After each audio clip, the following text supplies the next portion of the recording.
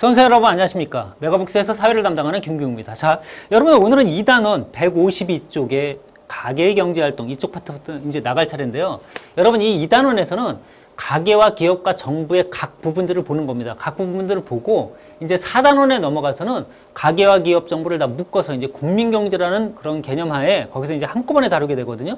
자 그래서 이제 하나씩 하나씩 다루는 건데 이 공무원 사회가 공무원을 대상으로 시험을 자 공무원이 될 사람들을 대상으로 시험을 보기 때문에 출제는 거의 어디서 되느냐면 바로 이 정부 파트에서 시험이 거의 출제가 되고 또한 나와도 계속해서 세금 파트가 출제가 됩니다. 그래서 세금 부분을 여러분들이 공부를 잘 해두시고 계셔야 되고요. 자 또 하나 이 공무원 준비하는 친구들한테 가장 많이 물어보는 부분이 또 뭐냐면 여러분 소득 불평등을 완화시키는 그런 정책들에 대해서 계속 물어보고 있거든요. 그 두 가지를 중점적으로 보시면 됩니다. 자, 여러분들 여기 보세요. 자, 일단 정부가 정부가 자, 가계기업 정부 중에 정부를 보는 겁니다. 자, 정부가 여러 가지의 경제적인 역할이 있습니다. 그럼 정부의 경제적 역할이 뭐가 있는지 한번 생각을 해보자 우리가.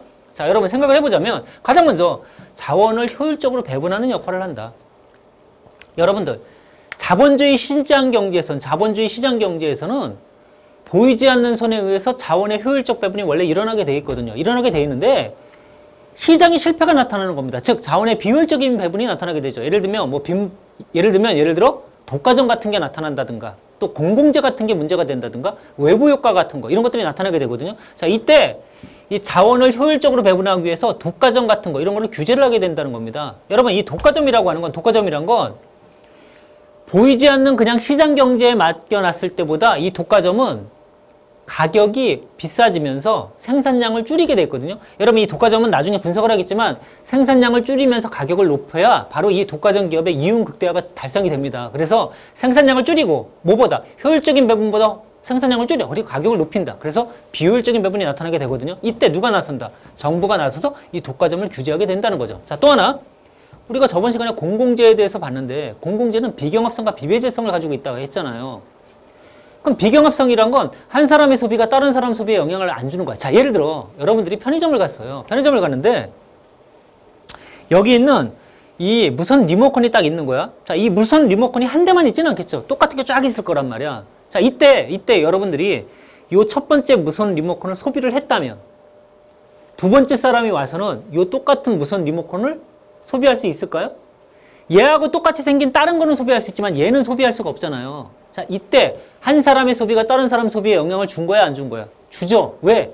한 사람이 이걸 가져감으로 인해서 다른 분은 이거 말고 다른 것들에서 골라야 되니까. 이 경우가 여러분 경합성이야.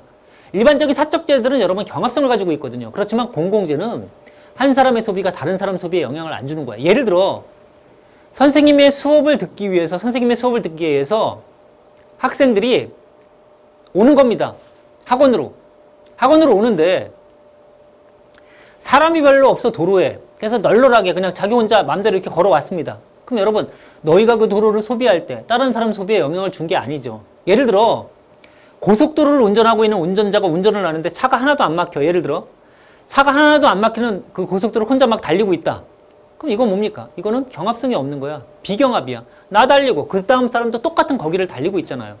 그런데 차가 막히는 도로라고 해봅시다. 그러면 이 사람이 이 도로를 사용함으로 인해서 나는 이 도로를 사용하기 어때? 어려워지잖아. 불편해지잖아. 그러니까 한 사람의 소비가 다른 사람 소비에 영향을 주는 경우 이 경우를 경합성이라 부른다는 얘기죠. 안 주면 비경합성. 그 다음에 이제 배제성이라고 하는 건 여러분 대가를 지불하지 않은 사람은 소, 비에서 배제되는 경우를 우리가 배제성이라 부르는데 공공재는 여러분 비배제성을 띠거든요. 대가를 지불하지 않은 사람을 어때? 배제시킬 수가 없습니다. 그러면 이런 것들 있잖아. 예를 들어 세금을 안 낸 사람 안 낸 사람도 이 도로는 그냥 왔다 갔다 할 수 있다는 거죠. 자 이런 재화를 어떻게 기업이 생산하겠어? 어렵죠.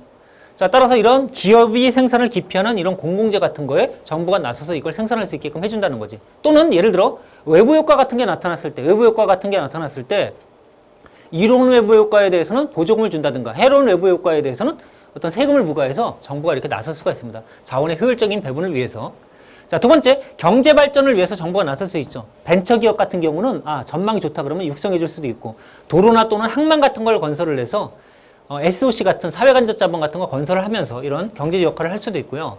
자, 또 이게 중요하겠죠. 소득 재 분배를 위해서 정부가 나설 수 있습니다. 자, 자본주의는 필연적으로 빈부격차를 가져오게 돼 있습니다.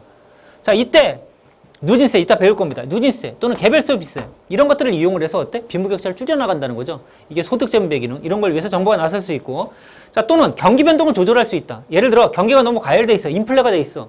그럼 인플레가 돼 있으면 물가가 지금 상승하고 있다는 얘기잖아요. 그러면 돈이 있고 물건이 있을 때 물건의 가격이 뛴 거거든 지금. 자 이렇게 물가가 올라갔습니다.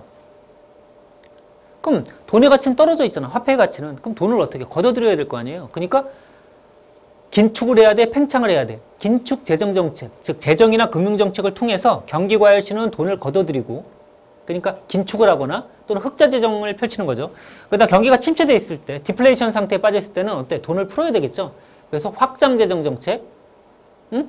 또는 이런 통화 정책, 금융 정책을 이용을 해서 경기를 이렇게 살리는 역할들을 하는 거. 이게 정부의 경제적 역할이 들어가 있고, 그다음 마지막으로 여러분 경제 질서 유지를 위해서 사유재산 제도 같은 거를 보장을 해주고 계속 유지하게끔 또 소비자 보호 이런 것들을 위해서 노력을 하는 이런 정부의 경제적 역할들이 들어갑니다. 자, 그 다음에 여러분 이거 보세요. 세금이라고 하는 게 있는데 세금. 자, 여러분들이 개념상 하나 알아둘 게 있는데 재정이라고 하는 개념이야, 재정. 이 재정이라고 하는 개념이 이게 뭐냐면 여러분들 재정정책이라고 하는 거 들어봤잖아. 재정정책. 이 재정정책이 할때 이 재정이 세입 세출과 관련된 정부의 경제활동을 말합니다. 세입, 세입, 세출과 관련된 정부의 경제활동. 세입 세출과 경제, 세입 세출과 관련된 정부의 경제활동을 재정이라 부르는데 정부는 예를 들어 경기가 너무 저기 인플레이션 상태에 빠져 있으면 세입을 늘리는 거야. 돈을 끌어들이고 세출을 줄이는 거죠. 이래서 경기를 좀 진정시키고요. 이렇게 재정 정책이야. 또 경기가 너무 디플레이션 상태다 그러면 어떻습니까? 세입을 줄이고 세출을 늘려서 경기를 살리는 거. 이게 재정 정책이거든요. 재정은 세입과 세출과 관련된 세입과 세출과 관련된 정부의 경제 활동이야. 그럼 이 중에 세입이라고 하는 게 있다. 세입. 세입에는 여러분 두 가지가 있습니다. 바로 조세와 조세 외수입. 자, 여기 이 조그만 것이 좀 안 보이는데 조세라고 하는 건 너희들이 알고 있는 세금을 말하고요. 조세 외수입은 세금 말고 벌어들이는 수입을 얘기하거든요. 그러면 이 조세 외수입에 뭐가 있냐? 이자 같은 게 있습니다. 이자. 예를 들어 정부가 세금을 받을 거 아니야. 그럼 세금을 뭐 땅에 묻어놔? 아니잖아요. 어디다 두겠습니까? 은행에 예금을 해놓겠죠. 이때 이제 이자가 들어올 수 있겠죠. 이자. 그 다음 수수료. 예를 들어 여러분들이 동사무소 같은 데 가면 뭐 등본 같은 거 띄고 수수료 내잖아요. 이런 수수료. 그 다음 벌가금. 여러분들이 이쪽에는 그 학원 앞에 도로에서 경찰 아저씨 지나갈 때 뭐 침을 뱉거나 담배를 이렇게 피다가 꽁초를 버려보세요. 그럼 어떻게? 과태료 같은 거 부과하잖아요. 이런 벌가금, 벌금이나 과태료. 이런 벌가금. 그 다음에 재산 매각대금. 여러분 정부도 재산이 있을 거 아니야. 그렇잖아요. 정부가 자기 그 정부 국유지에다가 뭐 건물도 건설할 수 있고 뭐 이렇잖아요. 이때 이 국유지 같은 걸 파는 거야, 재산을. 매각하면 돈이 들어오겠죠. 이런 것들은 여러분 조세 외수입이 돼요. 그리고 조세는 국세와 지방세로 나눠집니다. 국세와 지방세. 그리고 지방세에 속하는 건 뭐냐면 이런 게 있습니다. 지방에 재산이 있겠지, 재산. 재산. 그 다음에 그 재산을 취득할 때 내는 취득세. 그 다음 주민세. 이런 것들은 여러분 이 지방세에 속하거든요. 지방세. 그러면 예를 들어 강남 같은 데 있잖아요. 서울이나 서울시 같은 경우는 재산 가격도 굉장히 비싸고 재산을 취득할 때 내는 취득세도 비싸고 사람도 많으니까 주민세도 많이 거칠 거 아니에요. 그러니까 재정 지방의 재정이 탄탄하죠. 그런데 저쪽에 외딴 어떤 지역 같은 경우는 외딴 지역 같은 경우는 어떻습니까? 주민도 별로 없고 재산 가격도 적을 거 아니야. 그리고 취득할 때 내는 취득세도 적겠죠. 이럴 때는 재정 자립이 잘 안 돼 있는 거죠. 이때 중앙 정부가 재정 자립이 취약한 그 지방자치단체에 뭐를 이 국세를 가지고 어떻게 지원을 해줄 수가 있거든요. 이런 걸 우리가 지방재정 교부금이라 부릅니다. 자, 하여튼 자 여러분, 자 이렇게 지방세 이런 것들이 있고요. 그다음 국세는 또 뭐로 나눠지냐? 내국세와 관세로 나눠집니다. 그리고 내국세는 또 뭐로 나눠지냐? 직접세와 간접세로 나눠지게 됩니다. 자, 근데 여기서 여러분 이 직접세와 간접세가 되게 중요해요. 직접세와 간접세를 구별하는 게. 자, 여러분 먼저 그림을 먼저 보세요. 그림을. 직접세와 간접세, 누진세와 비례세를 잠깐 설명을 할 텐데 자 보세요. 예를 들어 여러분들이 100만 원의 돈을 벌었습니다. 100만 원의 돈을 벌면 10%의 세금을 내래요. 그걸 얼마를 내야 돼? 10만 원을 내야 되잖아. 근데 여러분들이 200만 원을 벌었습니다. 200만 원. 벌었더니 똑같이 10%의 세금을 내래. 그럼 얼마를 내야 돼? 20만 원을 내면 되겠죠. 자, 이렇게 100만 원 벌 때 10%, 200만 원도 똑같은, 똑같은 10%야. 근데 200만 원을 벌었더니 이번에는 20% 세금을 내래. 그럼 얼마를 내야 돼? 40만 원을 내야 되겠죠. 자, 200만 원을 벌었더니 이번에는 5%만 세금을 내래요. 자, 100만 원벌 때는 10%였는데 200만 원벌 때는 5%만 내래. 그럼 얼마를 내면 돼? 10만 원만 내면 되죠. 자, 이때 이렇게 10% 10%로 계속 이렇게 가는 세금을 이걸 우리가 비례세라 부릅니다. 비례세. 그리고 10%가 20%로 이렇게 뛰는 세금 이걸 우리가 누진세라 불러요. 누진세. 그 다음 10%가 이렇게 5%로 떨어지는 세금을 우리가 역진세라고 부릅니다. 역진세. 이렇게. 그리고 또한 세금은요. 세금은 여러분, 세금은 직접세라는 게 있고 간접세라는 게 있습니다. 직접세와 간접세. 그 다음에 간접세. 이렇게 나눠지게 되는데 자, 직접세와 간접세를 여러분 자 보세요. 여기다 선생님이 그림을 그려 놨는데 좀 요게 좀 선지가 좀 조금해서 잘 안 보일 텐데 자, 직접세와 간접세가 있죠?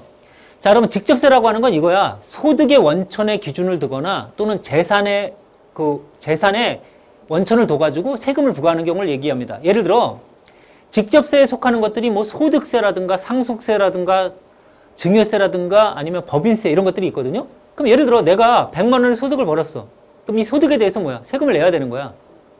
이해가시죠? 그러니까 내가 소득이 있으면 내가 세금을 내잖아요. 그러니까 내가 부담을 하고 내가 어때? 내가 세금도 내죠. 그래서 담세자와 납세자가 같다고 합니다. 자, 여러분 여기 조그만 것으로 보이니까 여기다 써보면 이겁니다. 직접세는 납세자와 담세자가 일치해요. 이게 일치해. 즉 내가 납입을 하고 내가 부담을 한다는 얘기야. 근데 간접세는 여러분 간접세는 소비행위 같은데 두고서 어, 세금을 부과하는 경우거든요. 예를 들어 자 직접세에 속하는 세금들이 직접세에 속하는 세금들이 예를 들어 소득세, 상속세, 증여세, 법인세 이런 게 있다면 자 여러분 여기서 말하는 소득은 개인이 개인에 대한 그 소득에 대해서 내는 세금을 얘기하고 이 법인세는 여러분 사람이 자연인만 있는 게 아니라 법인도 있잖아요 법인. 그 법인들도 예를 들면 삼성이라고 하는 거는 법인이잖아 삼성 법인. 그 삼성이 돈을 벌면 뭐야? 법인세를 내는 거야. 근데 삼성에 있는 어떤 사원이 예를 들면 뭐 이건희 회장님이 돈을 벌었다 그러면 이건희 회장님은 소득세를 내겠죠. 근데 삼성 그러면 여러분 뭐야? 그 법인세를 내게 되어 있거든요. 자 이런 세금들은 여러분 납세와 담세자가 똑같아요. 그런데 간접세는 주로 어떤 세금들이 있냐면 부가가치세 그 다음 개별 소비세 이런 것들이 있습니다. 개별 소비세.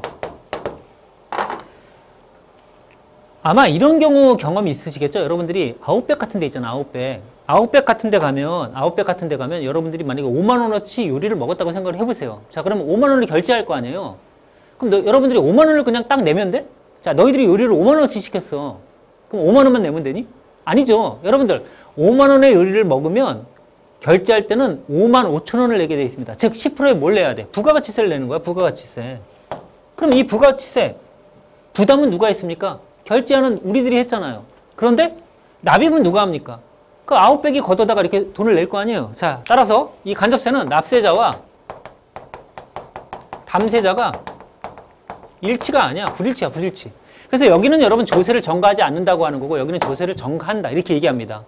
그래서 직접세는 이렇게 소득이나 상속이나 증여나 법인세가 있고 그다음 간접세는 부가가치나 개별소비세라는 게 있는데 이 개별소비세는 옛날에는 특별소비세라고 불렀었는데 개별소비세라고 바뀌었거든요. 이거 사치품에 대해서 부과하는 세금이라고 생각하시면 됩니다. 그럼 생각해 보세요, 여러분. 일반적으로 이 직접세에 속하는 게 누진세가 직접세예요. 그다음 간접세는 다 비례세입니다. 비례세. 그럼 생각해 보세요. 소득은 자기가 100만 원의 소득이 있으면 10%를 내는데 200만 원으로 소득이 올라가면 20%를 내야 되는 거야. 따라서 여러분 이쪽은 어떻습니까? 많이 버는 애들이 누진적으로 많이 내게 돼 있죠. 근데 비례세는 어떠냐? 이 간접세. 이 비례세는 비례세는 부가가치세. 회장님의 아들도 아웃백에 가서 5만 원어치 요리를 먹으면 5만 5천 원을 내. 그리고 나도 5만 원어치 요리를 먹으면 5만 5천 원을 내. 그리고 또 여러분들도 5만 원어치 요리를 먹으면 5만 5천 원을 냅니다. 그럼 평등합니까 그게? 아니 회장님의 자제분이 5만 원에 대한 5천 원 세금 내는 거하고 내가 5만 원에 대한 5천 원 세금 내는 거 여러분들이 5만 원에 대해서 5천 원 세금 내는 게 그게 평등해? 아니죠. 많이 버는 사람이 많이 내야 평등하다고 보는 거야. 자 따라서 따라서 소득재분배 효과가 크기 위해서는 뭐야? 직접세가 늘어나야 된다는 거죠. 소득재분배 효과가 크기 위해서는. 간접세가 늘어나면 이건 어때? 점점 빈부격차가 더 커지게 되는 겁니다. 또한 이런 거 한번 생각해 보세요. 소득이나 상속이나 증여나 법인세 이런 거는 우리, 우리가 직접 내야 되잖아. 그러니까 사람들이 내겠어 안 내겠어? 잘 안 내. 이거 저항이 엄청 크죠? 저항이 커. 근데 이쪽 봐봐봐 여러분. 아니 아웃백에 가서 여자친구랑 5만원어치 요리 먹었는데 딱 보니까 영수증에 5만 5천 원이 찍혀져 있어. 그럼 나 안 낼래 막 이렇게 싸웁니까? 아니죠. 여기는 저항이 별로 없는 거야. 저항이 별로 없어요. 선진국들은 주로 직접세가 많습니다. 근데 후진국들은 간접세가 주로 많아요. 간접세가. 그리고 아까 얘기했지만 여러분 이 직접세는 저항이 심하기 때문에 조세 징수 절차도 복잡하고 비용도 많이 들어가요. 그렇지만 여기는 어떻습니까? 저항도 적고 절차도 복잡하지 않죠. 바로 그냥 자기가 결제하면서 내버리니까. 선진국은 주로 이 직접세, 후진국은 주로 간접세가 많습니다. 됐죠? 자, 이런 내용들을 여기다 이렇게 이제 쭉 정리를 해놨는데, 해놨는데, 자, 이거 가지고 여러분 문제를 많이 출제를 합니다. 출제를 하는데 여러분들이 여기서 끝나서는 안 되고요. 그림으로 한번 봐야 돼, 그림으로. 자, 선생님이 대충 이렇게 설명을 했는데, 그림으로 한번 내가 그려볼게요. 그림으로. 자, 보, 봐, 보세요. 예를 들어, 이렇게 내가 그림을 하나 그렸습니다. 자, 그림을 한번 그려보죠. 그림을 이렇게 그렸는데, X축에다가 과세 표준 금액, 과세 표준 금액, 이렇게 써놓고, Y축에다 예를 들어 세율이라고 썼다고 해보자. 세율. 그러면 비례세는, 비례세는 어떻습니까? 비례세. 비례세는 세율이 똑같잖아. 아까 봤잖아. 10%, 10%, 10%. 이렇게. 이게 비례세야. 그렇죠? 그럼 누진세는 어떻게 되느냐? 누진세는. 누진세는 이렇게 되겠죠. 예를 들어 이렇게 세율이 올라가는 거지. 예를- 들어. 이렇게 올라갈 수 있겠죠? 이게 누진세지. 또 뭐 이렇게 올라갈 수도 있겠죠. 이렇게 10%, 20%, 뭐 이렇게 30% 이런 식으로. 이런 건 누진세입니다. 누진세. 근데 여기가 만약에 세율이 아니라 세액이 들어간다고 해보자. 세액. 자, 보세요.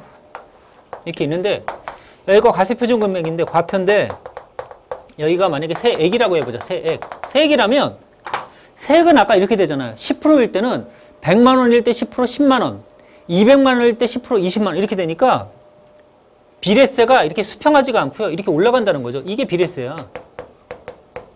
근데 누진세는 어떻게 되느냐? 100만 원 벌 때 10% 10만 원, 200만 원 벌면 20%니까 40만 원이야. 그러니까 이렇게 되죠. 이렇게 올라가죠. 이게 누진세.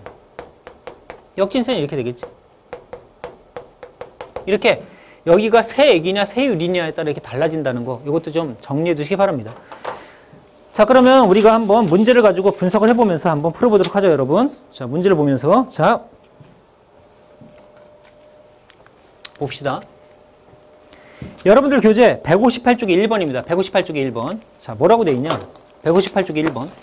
다음 중에, 다음 중에, 이 네 가지 중에 소득 분배 불평등을 개선하기 위해 정부가 취할 수 있는 정책이라고 할 수 없는 거죠. 자, 소득 불평등을 개선하려고 한대요. 자, 누진세. 이건 되네. 개선할 수 있죠. 봤잖아, 누진세.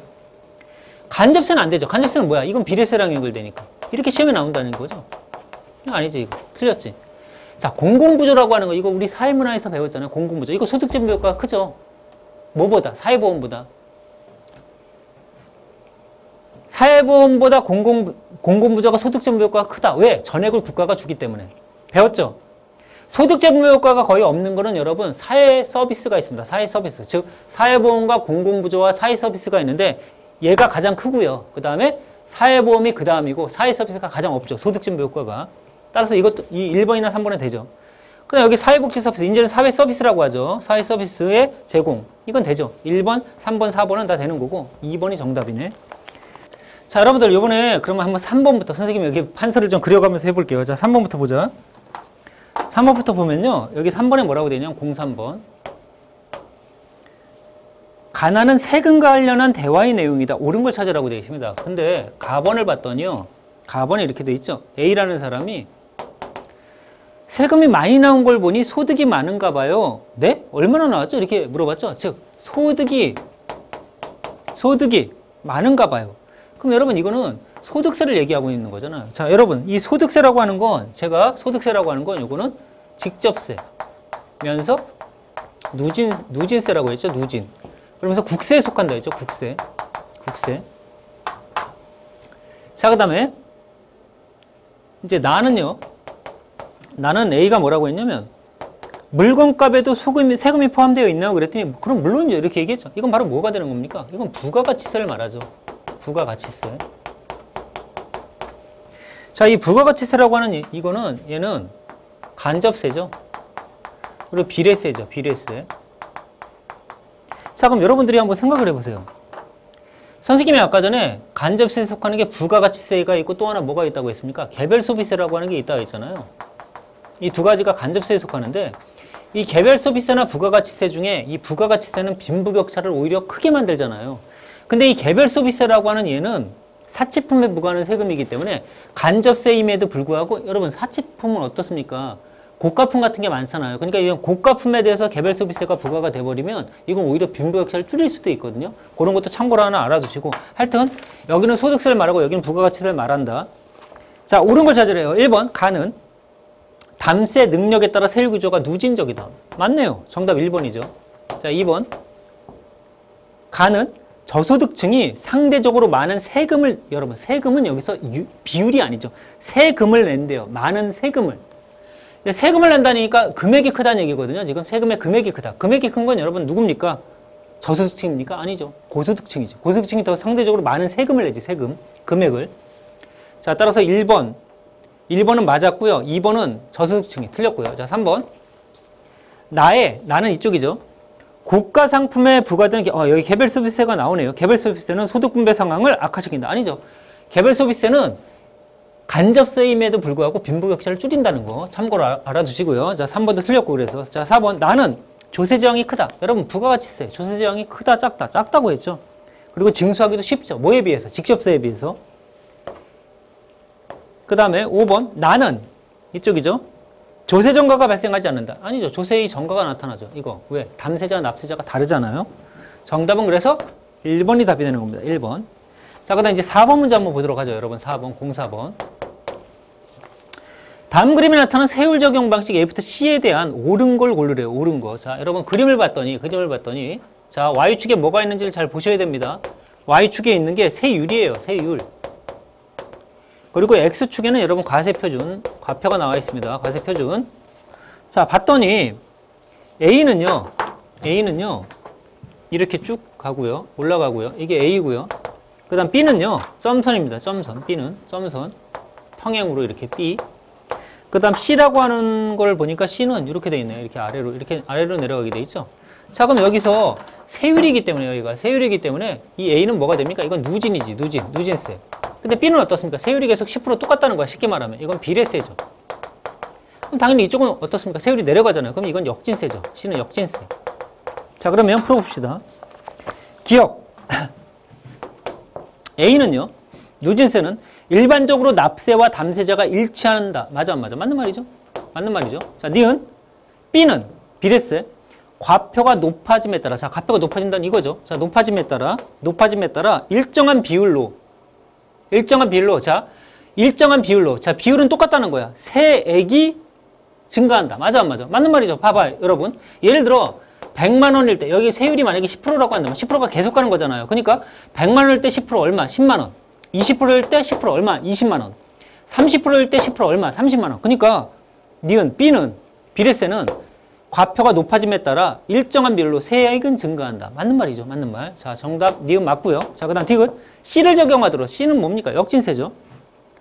높은 과세 표준에 부과된 세액이 높은 과세 표준에 부과된 세액이 낮은 과세 표준에 부과된 세액보다 많다.